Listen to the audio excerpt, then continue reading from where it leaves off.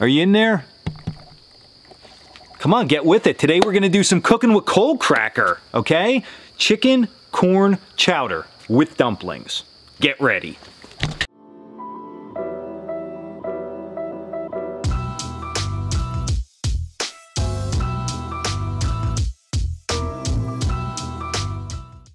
So we haven't done a cooking with Coalcracker video for a while and uh, part of that reason, not that I'm not eating out here because I love to eat, but part of that reason, it's just hot and slaving over a campfire. Ugh, didn't want to do it, but it's starting to cool down. See, the leaves are changing. Plus, I got a new one of these. You know these time pressure cooker bombs that we put in a campfire? This is the smaller version. Last time I had the larger version. And then they make even a larger version. We'll use that in a future video. Um, these things are really great though because they're fast, easy. I thought it was gonna start to rain. That's why it looks a little bit dark out today because I thought the rain was gonna roll in. So even if it's raining, this thing has the food covered and it's just pressure cooking. So it's great. The Campfire Pressure Cooker by uh, Mengrills. So that's what we're gonna be using, but it's more about the recipe. It's more about delicious food. I can't wait to eat. I'm excited. Let's get started.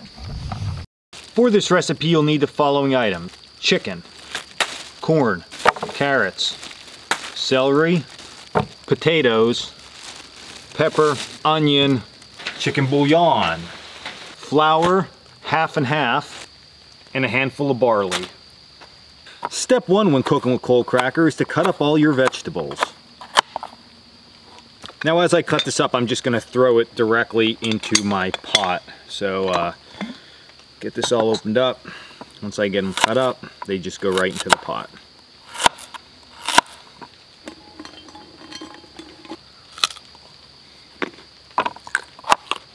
You would think if you're a master knife smith like me, like I can handle a blade.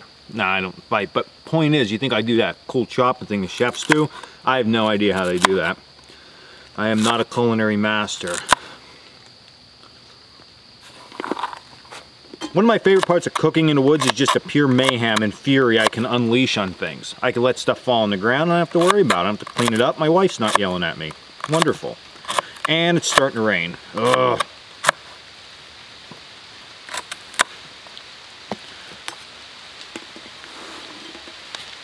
Alright, we're gonna have to move this show onto the cabin porch. But first I get my fire stoked up.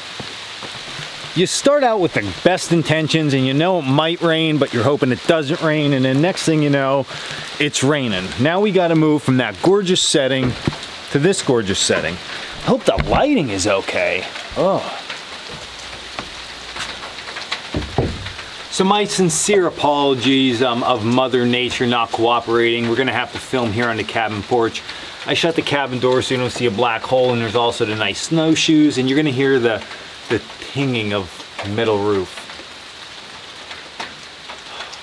It's actually pretty relaxing and it's very comforting to do this, so uh, let's just keep on going. Let me get the food ready.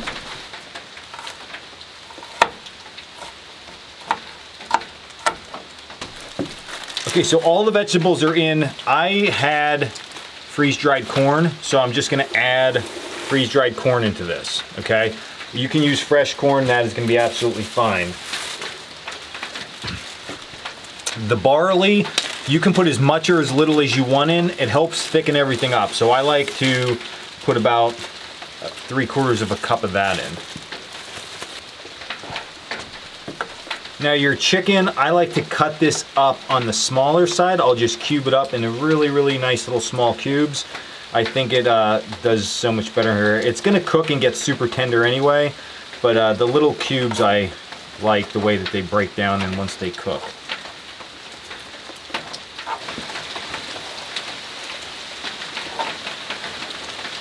Okay, so as I'm pulling my things out, the, the half and half, at the end, once your soup or stew is almost totally finished, I like to put some of this in and then mix it around. It's gonna thicken up, it's gonna give it a little bit of creaminess. So that's saved towards the end. I don't cook with that initially. Pepper, I'm just gonna put a good amount of pepper in there. And then lastly is our dumplings. So for that, I'm just gonna take some flour and I'm going to put that in a bowl, okay? If you use a handful of flour, is gonna be more than enough dumplings for this. And then if you're in our bushcraft class, you would know how to properly cook the dumplings, but I'm gonna help you out here. So you can add a little bit of water. Don't add too much because you want this to be to the point that it forms a dough. So a little bit of water literally goes a long way here with these.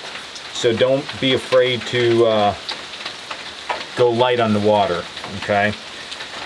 Okay, so a good sign that your dumpling dough is where it needs to be is all of the dough isn't sticking to your hands. Okay, you're gonna have some flour residue there, but not a lot of dough. So what I like to do is literally just make a patty. If it feels um, sticky anywhere, then by all means you can either add a little bit more flour or um, just realize you add too much water, but um, you should be good. I think everybody can handle this. Just break chunks of this off and throw this inside. These are going to be our dumplings. Now, if you want to form your dumplings and be all pretty with this, hey, it's your stew. You do whatever you like. I'm going to just show you what I'm doing because it's making my life easy. And then lastly, we're gonna put in our chicken bouillon cubes, okay? Now, I like to, with this specifically, and most of the time when I cook, not just throw these in, I like to take some warm water and get these dissolved and then add that in. So I'm gonna go throw some water onto the fire right now and get that hot. I should have did this while I was processing everything, but I didn't think ahead. I didn't think ahead on this one. So let me get that done, put the lid on this, and I'll talk to you more. Oh. Right, you crazy bushcrafters. So I got my water hot, dissolved the chicken bouillon, and then I'm gonna add water. So one thing I want you to keep in mind with this is that when you make this, all right, you need to remember you're making like a chowder. So you don't wanna put too much water in that it is like real soupy and you don't wanna put it in it, it's like super, super thick. You gotta find that happy medium. So with something like this pressure cooker, I'm gonna fill about two inches over my ingredients is how much I'm gonna do. And I can always add a little bit more. If I was cooking this in a Dutch oven, I would do pretty much all the same stuff as I'm doing right now, except for the fact that I would have to add water throughout the process. So what we're gonna do is we're gonna get this lid on here because I am hungry, like real hungry. And we're gonna go put this thing on the fire.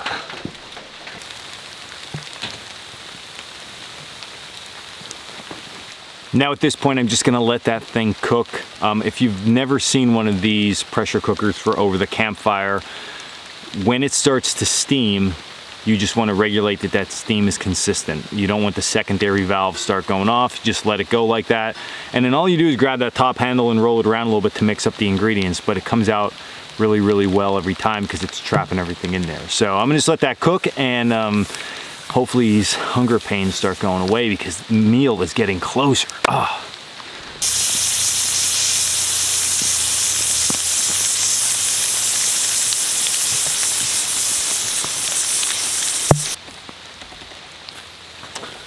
Okay, so right now, pot's off. With this specific cook system, you have to give it a little bit of time to air out. So you need all that pressure to come out before you open up the lid. Otherwise it just whoosh, overflows and goes everywhere. So I'm gonna give it some time. That's gonna give it some time to cool down too. And then we'll add our half and half or heavy cream, mix it up, and we're just about ready to go. All right, so I'm gonna open this thing up. Now it cooled down a good bit, Ooh yeah, check this out.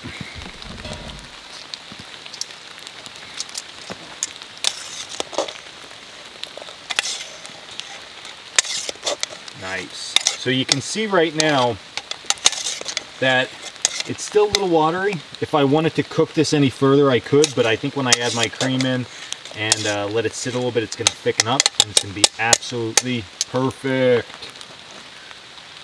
All right, so let's add a little bit of this.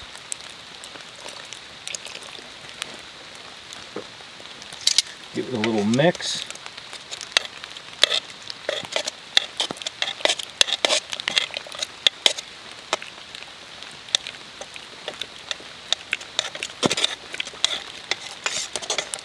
Look at that. Awesome. Now is a taste test. So uh, this stuff looks great. Smells really good. I'll say my pre-assumption of it is that I made it very bland. I didn't add a lot of extra stuff to it. One, I didn't have a lot of extra spices here with me. Um, but two, if you start with a good base recipe and you find something you really, really like, adding extra stuff when you're at camp, be it bacon, ham hocks, um, red pepper, red pepper flakes, hot sauce, any of that stuff, salsa, makes more awesome.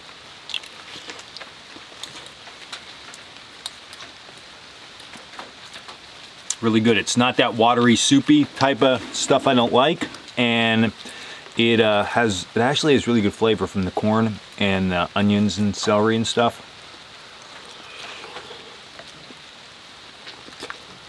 Great. Good flavor. This thing came out awesome. So um, I hope you try this recipe. I'll put it in the description below, everything you need. And then uh, play around with it. Add some stuff, take some stuff away if you don't like it. But it's a good base. It's a good camp recipe. This time of the year, it's cooler out having a nice hearty stew, soup, chowder, whatever you want to call this thing. Great time at camp. Team this up with a beer and you'd be good to go. So this was Dan Wowak with Coal Cracker Bushcraft. I hope you enjoyed this episode of Cooking with Coal Cracker. As always, check us out at coalcrackerbushcraft.com. And until the next video, stay in the woods. Mm.